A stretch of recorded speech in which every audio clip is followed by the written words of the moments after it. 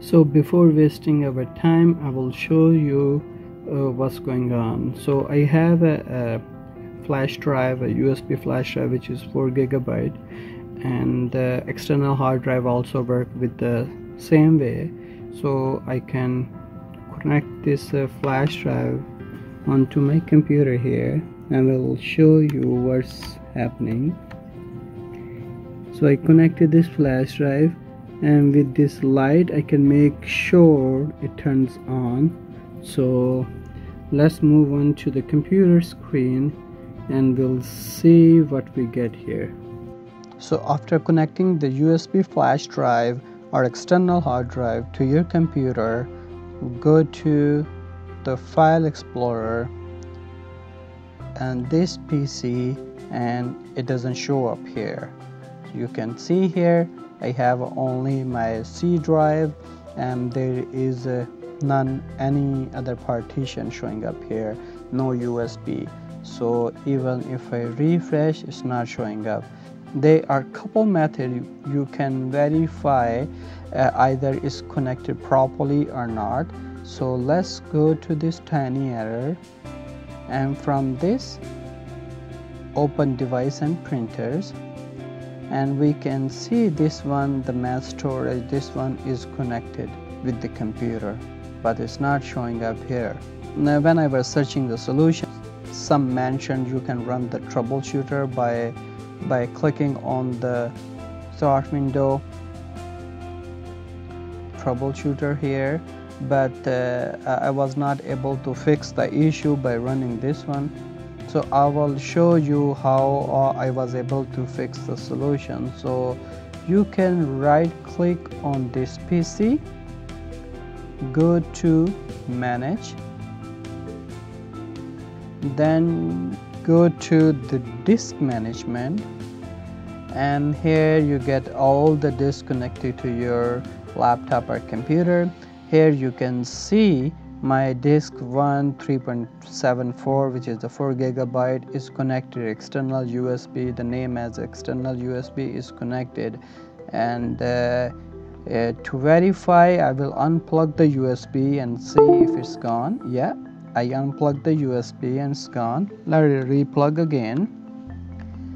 So I replugged again and it came back again. So that means it's showing up here in the disk management but it's not showing in the here on the my file explorer so I can browse in and uh, copy my pictures here.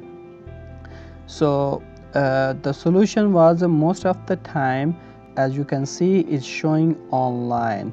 This showed as offline. So disk is offline so you just have to turn it back by right clicking turn it back to online and uh, it will start working again.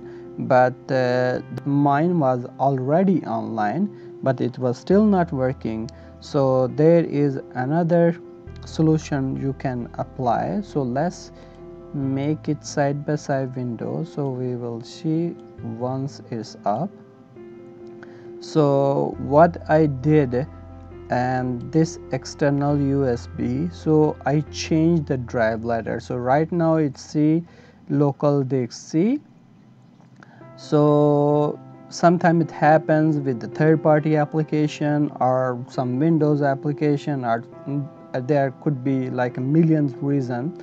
Uh, the drive letter has a conflict so it's not showing up here. So we can just try to change a drive letter by right click change the drive letter as you can see no drive letter is assigned here so we can add.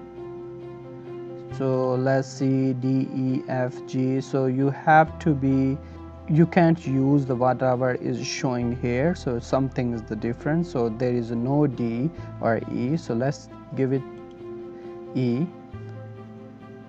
Okay and as soon I apply the drive letter you can see it showed up here. So we can browse we can put our stuff in. Everything should be working. So let me unplug. You can see it's gone. Let me plug back in and it will show up again automatically.